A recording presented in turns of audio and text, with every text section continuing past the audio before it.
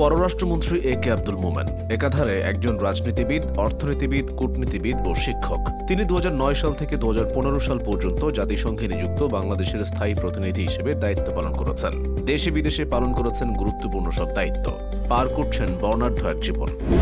এ কে আব্দুল মোমেন উনিশশো সাতচল্লিশ সালের তেইশ আগস্ট সিলেটে জন্মগ্রহণ করেন। তার পিতা আবু আহমদ আব্দুল হাফিজ ছিলেন সিলেট শহরের আইনজীবী, ভারতের স্বাধীনতা আন্দোলনের নেতা এবং তৎকালীন সিলেট জেলা মুসলিম লীগের নেতা।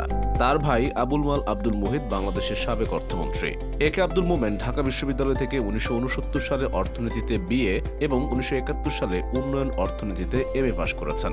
তিনি উনিশশো উনআশি সালে হার্ভার্ড বিজনেস স্কুল থেকে এম বি এ পাশ করেন। উনিশশো ছিয়াত্তর সালে ঢাকার সেন্ট্রাল কলেজ থেকে এল এল এলএলবি ডিগ্রি অর্জন করেন। তিনি যুক্তরাষ্ট্রের নর্থ ইস্টার্ন বিশ্ববিদ্যালয় থেকে উনিশশো আটাশি সালে অর্থনীতিতে পিএইচডি ডিগ্রি সম্পন্ন করেন। এ কে আব্দুল মোমেন সরকারি চাকরিজীবী হিসেবে উনিশশো তিয়াত্তর থেকে উনিশশো চুয়াত্তর পর্যন্ত স্থানীয় সরকার, পল্লী উন্নয়ন ও সমবায় মন্ত্রীর ব্যক্তিগত সচিব এবং উনিশশো চুয়াত্তর থেকে উনিশশো পঁচাত্তর পর্যন্ত শিল্প ও বাণিজ্য এবং খনিজ সম্পদ ও পেট্রোলিয়াম মন্ত্রীর ব্যক্তিগত সচিবের দায়িত্ব পালন করেন।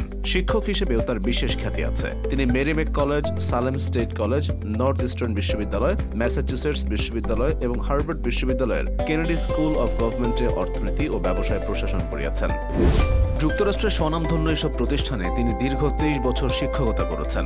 অর্থমন্ত্রী এম সাইফুর রহমানের একান্ত সচিব থাকা অবস্থায় অনেক প্রতিকূলতা মোকাবেলা করে দেশের চা বাগানগুলো ব্যক্তি মালিকানায় দেয় ভূমিকা রাখেন আব্দুল মোমেন। উনিশশো সালে এরশাদ সরকার ডক্টর মোমেনকে জোরপূর্বক অবসরে পাঠায়। এরপর যুক্তরাষ্ট্রে থাকাকালীন সময়ে তিনি উনিশশো আটাশি থেকে উননব্বই সালে যুক্তরাষ্ট্রের ডেমোক্রেটিক প্রেসিডেন্সিয়াল পদপ্রার্থী মাইকেল ডুকাসিসের উপদেষ্টা ছিলেন।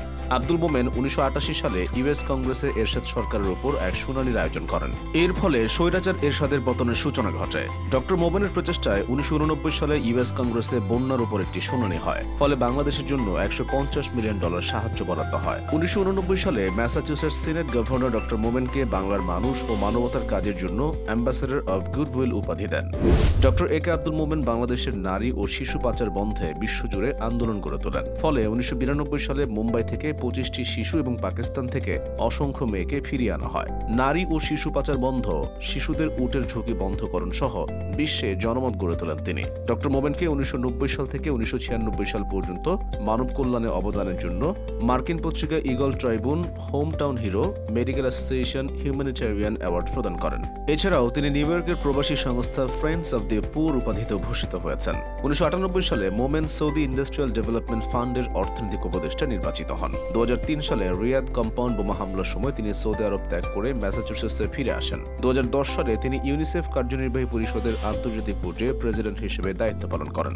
ডক্টর মোমেন জাতিসংঘ সাধারণ পরিষদের সাতষট্টিতম অধিবেশনের ভাইস প্রেসিডেন্ট এবং ভারপ্রাপ্ত প্রেসিডেন্টের দায়িত্ব পালন করেন। তিনি দু হাজার চৌদ্দ সালে জাতিসংঘের দক্ষিণ দক্ষিণ সহযোগিতা বিষয়ক উচ্চ পর্যায়ের কমিটির সভাপতি ছিলেন। তিনি জাতিসংঘে বাংলাদেশের স্থায়ী প্রতিনিধি হিসেবে দায়িত্ব পালনকালে বাংলাদেশের সর্বোচ্চ সংখ্যক শান্তিরক্ষী বাহিনী পাঠানোর মর্যাদা লাভ করেন। মোমেন ত্রিশ ডিসেম্বর দু হাজার আঠারো তারিখে সিলেট এক আসন থেকে জাতীয় সংসদ নির্বাচনে জয়লাভ করেন। গুঞ্জন ছিল, তিনি অর্থমন্ত্রী হিসেবে বড় ভাই আবুল মাল আব্দুল মোহিতের স্থলাভিষিক্ত হবেন। কিন্তু শেষ পর্যন্ত অর্থমন্ত্রী না হলেও পররাষ্ট্র মন্ত্রণালয়ের মতো গুরুত্বপূর্ণ মন্ত্রণালয়ের দায়িত্ব এখন তার হাতে ন্যস্ত। ড আব্দুল মোমেন বর্তমানে বাংলাদেশের পররাষ্ট্রমন্ত্রী হিসেবে দায়িত্ব পালন করছেন।